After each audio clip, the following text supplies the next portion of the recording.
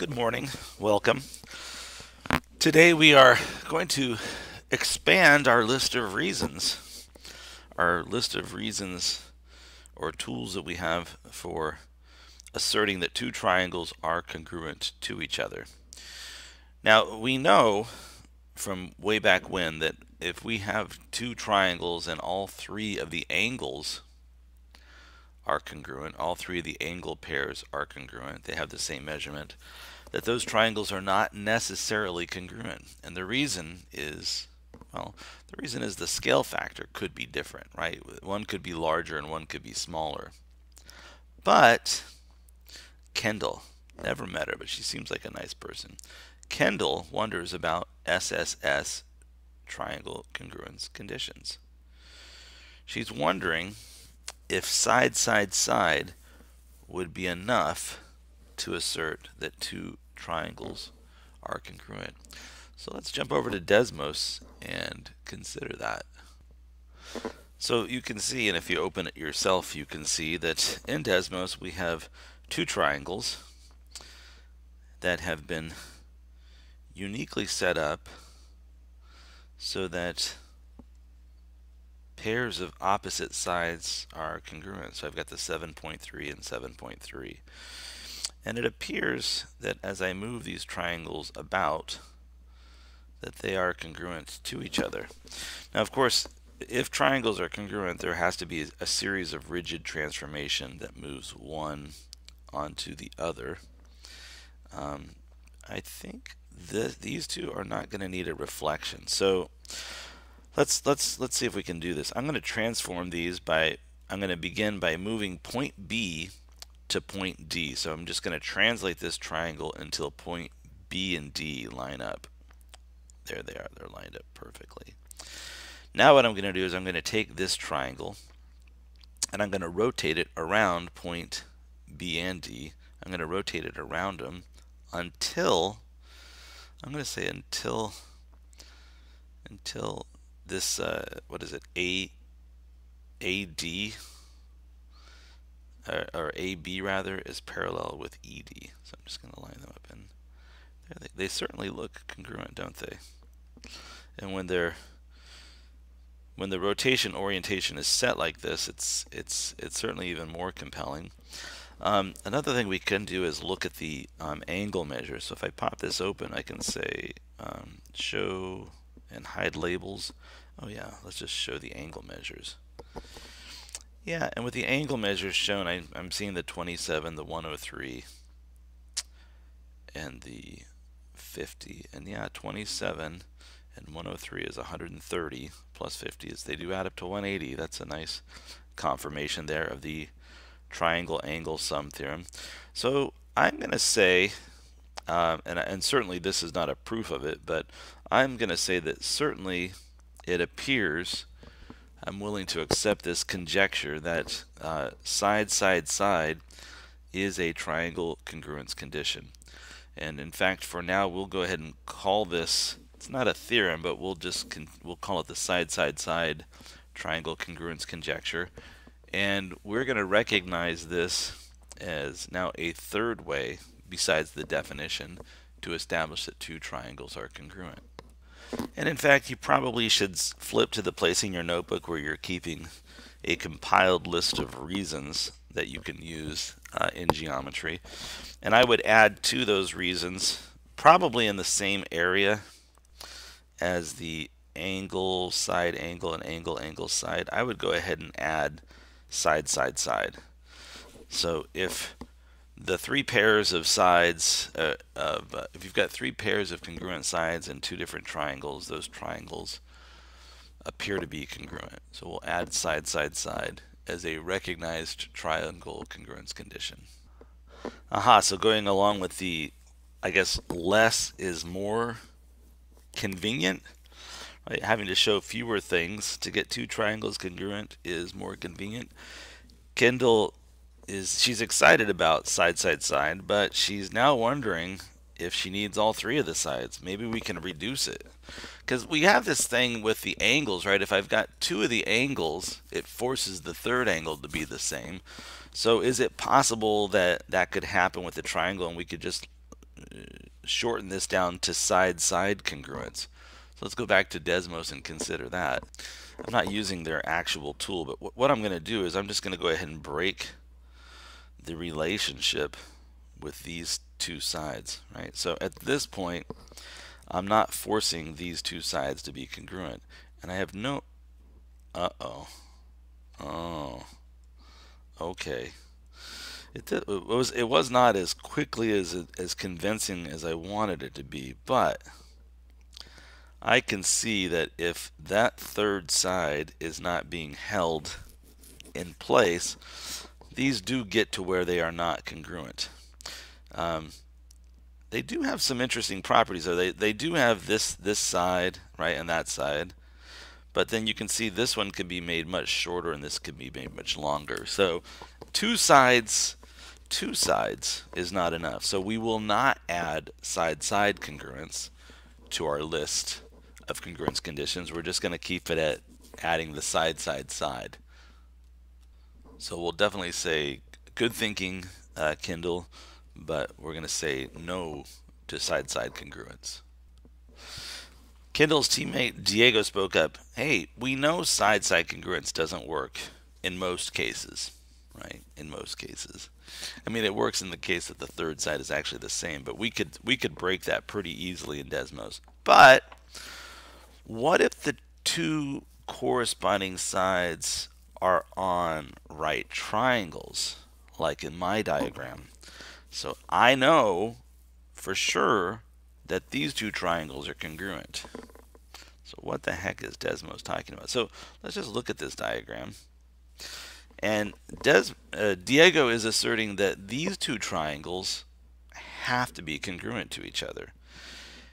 And I think the right the right angle is what makes the difference. The fact that we have right angles in these triangles forces them to be, you know, a, a kind of a special situation because now if I was to call, you know, if I was to call this this segment X, um, and uh, actually, let's let's use better letters. Let's call this, we'll call this leg A, and we'll call this leg B, and we'll call the hypotenuse C. Hmm. Well, I do know that if I start out with this A and this B, and this C rather, what do I get? Well, I, am going to get, according to the Pythagorean theorem, I'm going to have the A squared plus B squared is the hypotenuse squared, right?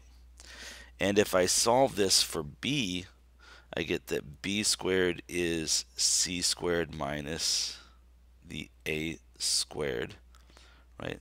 And, and you may be saying, well, why am I solving this for b? Well, I, I know, I apparently know something about that side. I know something about this side. What I don't know is something about this side. So I want to get that alone. and when I solve this, then for b squared, I, I get that just looking at the principal root, I get that b would equal the square root of c squared minus a squared.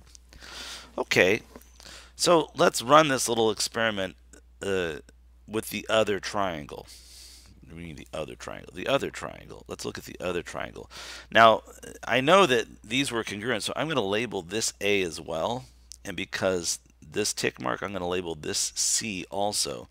But I cannot assert that these are the same. My wondering is, are they the same? So what I'm going to do is I'm going to call this, mm, let's use W. And my question is, must W be the same thing as B? And to answer that question, I'm going to do the same thing on this triangle I did in the first. I'm going to go ahead and write, okay, I've got a leg, A squared, plus the other leg squared, right, has to equal this hypotenuse squared. So if I solve for w, I get that w squared is equal to c squared minus a squared. And then looking at the principal root, w must be the square root of c squared minus a squared.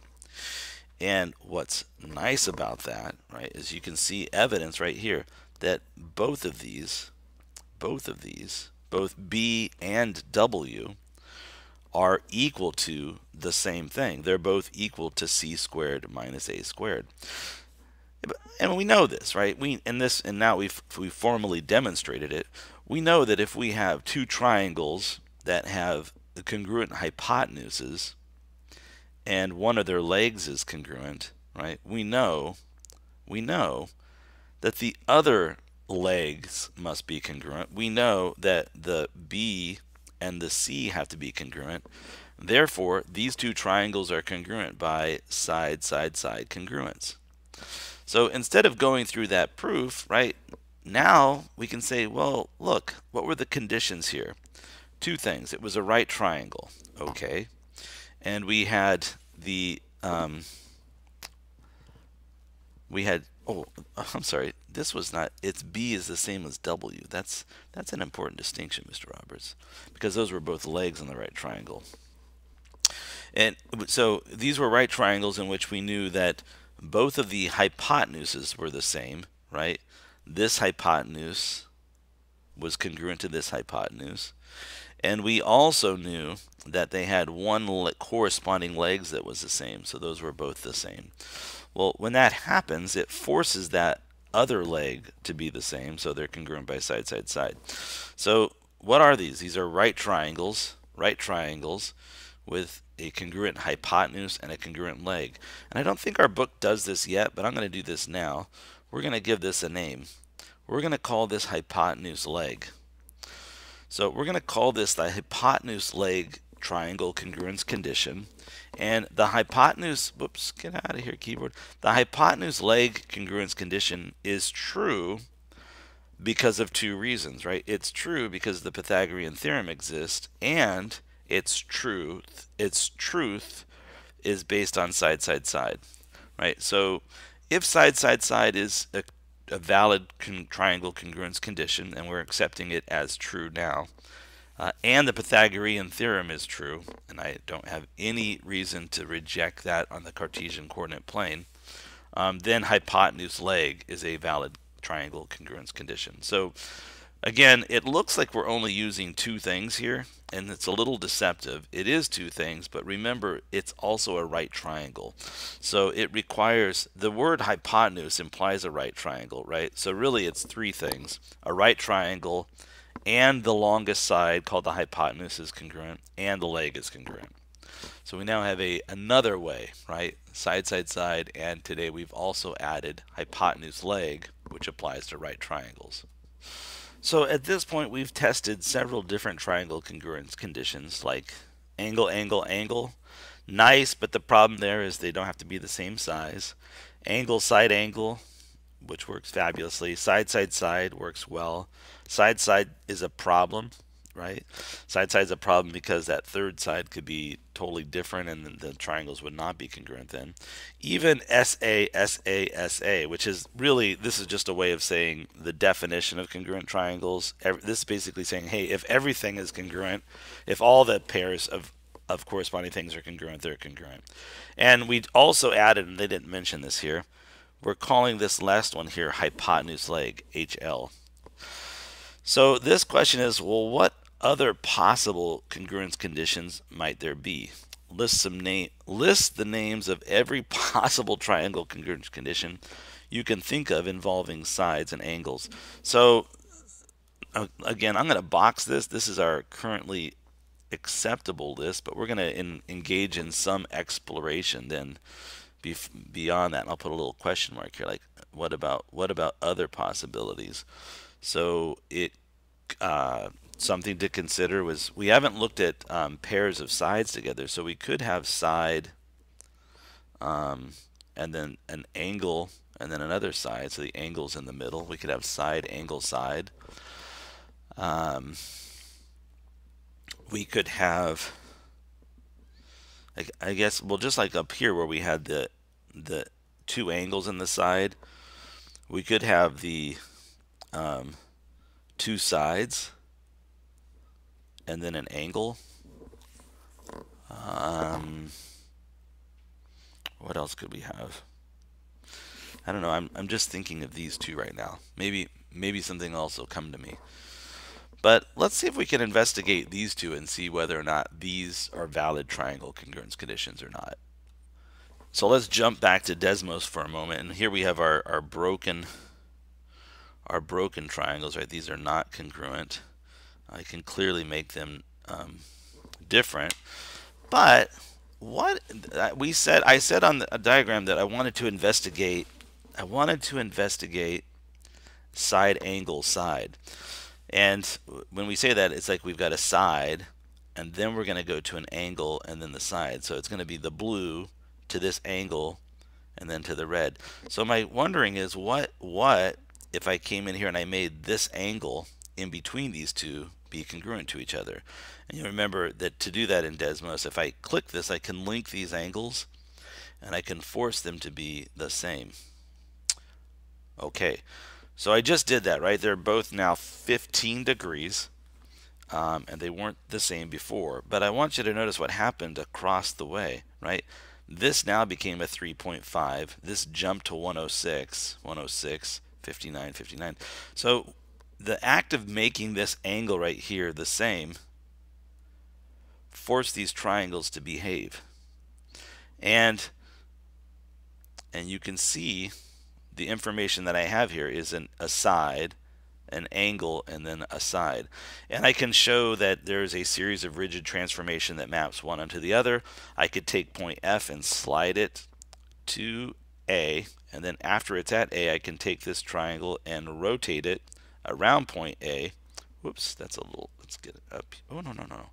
Let me try that again. Not that triangle, this triangle. Not that triangle, this triangle. Rotate this triangle about this point. There we go. Until, mm-hmm, there you see. So see, this gray one is where I was at, and this one is I can rotate it, right? And yeah, there's a nice series of rigid transformation that map those.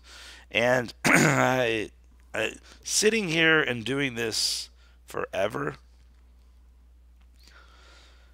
is certainly showing me that I, I haven't broken this yet, but it's certainly not saying that it can't be broken. So I'm not not willing to say that this is always the case, but certainly right now I see enough of this that I'm willing to accept this as a triangle congruence condition at this point. So let's add this one to our list also. So we're welcoming into the Triangle Congruence Condition Club a new member. We are going to welcome side angle side. So two sides turned out to work, kind of, as long as the angle in between them worked. And oh, what the heck? Let's put a, a beautiful let's put a beautiful box around these again. Here we go. Okay, so now we're up to one, two, three, four, five, and six if you include the definition, right? If you show everything, they're congruent. But the sh short of showing everything, we have five triangle congruence conditions now. That's beautiful.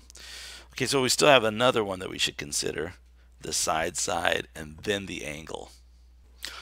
So I'm gonna take a take a chance on an old friend. I'm I've launched up GeoGebra here and in GeoGebra, I've just placed this reference line just so I can kind of see what that looks like. And I've also set up some angle because I'm anticipating what I want to try and show you with this. So I'm to start uh, my I'm going to start by just constructing a segment from that. So let's see, here's a segment.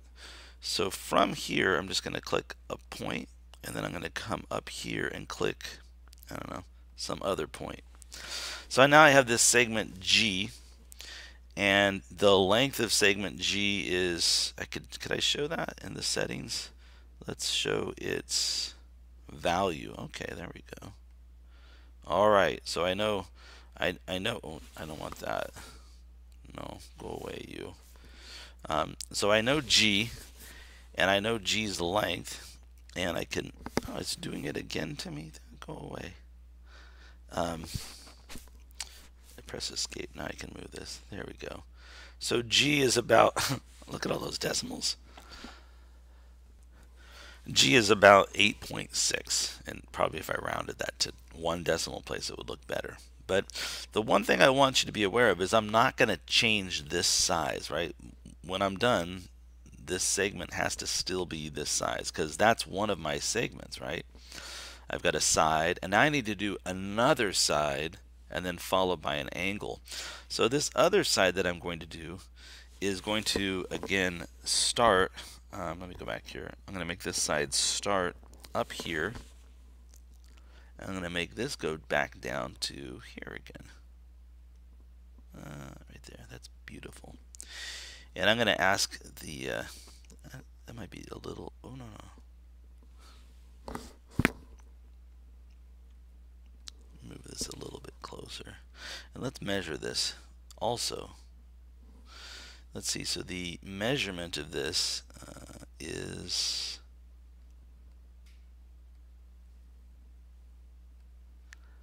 All right, 5.8. We'll call it 5.8. And again, you can see all the decimals here. So uh, not cheating, right? I don't want to cheat. Those two numbers have to stay the same. And the other number that has to stay, um, let's see, that's um, side, side. I'm going to measure this angle right here. So to measure this angle, there there is a uh, under the tools, geometry tools, there is an, a measure thing, and I can't remember the order it goes. I'm going to take a chance. I'm going to click this, and then I'm going to go E to C. There we go. Yeah, to A. All right, and I can see that that angle is 35.5. Escape, escape. I can move that over here a little bit. All right, so here's here's what I claim. I have right now a side, a side, and then this congruent angle. I've got this setup where I've got side, side, angle.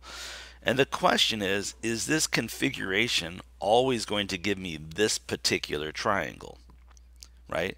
Is is this always going to say, yeah, if you start with the 5.8 and, and an 8.6 and then this 35.5, that's the only triangle that's possible using those three measurements in that order, side, side, and then angle.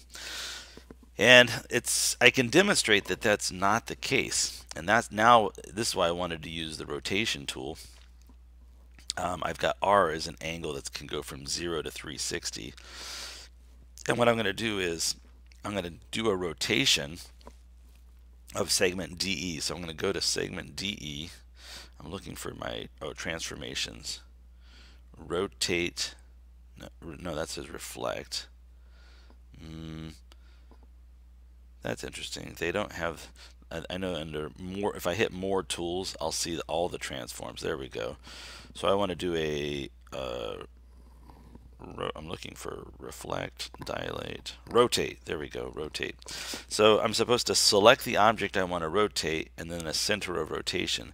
So I can select this and I can select this as my center of rotation. And I'm going to choose to rotate it uh, r degrees, an r, lowercase r. And I want to go, um, I think I want to go clockwise. All right, so there we are. So now if I come back over here and I look at R, where'd you go? It's been one to, oh, I wanted to go counterclockwise. But here's what I want you to see. Look at this. You can see I'm not changing the size of this at all, right? But right here, an amazing thing happens. There is a certain number of degrees where I land that all of a sudden I still have the same side 5.8, 8.6, and then this angle. But you can see this is a different triangle. The problem is, is that there are two different triangles that are possible here. And, and here they are, right? I'll use uh, this green color to highlight one of them. It's this triangle right here. And these are kind of crude sketches. And then I'll use this orange color. So the other triangle is this one. Goes all the way up to here, all the way down to here, and then all the way back to the beginning. That was terrible. One more try. Up to here, to here, and then to here. Well, you get a rough idea of what I'm talking about. So if I move this away, let's see, can I can I, I just can't I can't separate those. Let's leave it here. Here's what I want to point out is if you look closely, I do have this situation where this side is 5.3 in the red triangle and it's or it's 5.8 and in the green triangle this is 5.8 And then both of them share this side in the diagram, right? And both of these, um, in both of these, this is uh, 8.6 units long, right? And then they both share this one angle. This one angle over here is 35 degrees. So you can see I've got this side, this side, and then the angle but yet there's two different triangles. There's the red one and there's and there's the green one. So when we see this side, side, and then an angle pattern, nope, not triangle pattern, side, side, and then an angle pattern, the problem with it is that there's two lurking, there's two possible triangles there.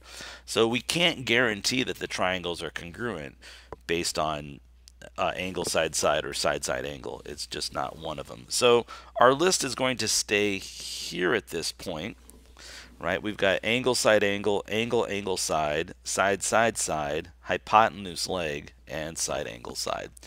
So that's it. We are at 26 minutes. Uh, I hope you have a great day, and uh, I look forward to seeing you in class and online next week.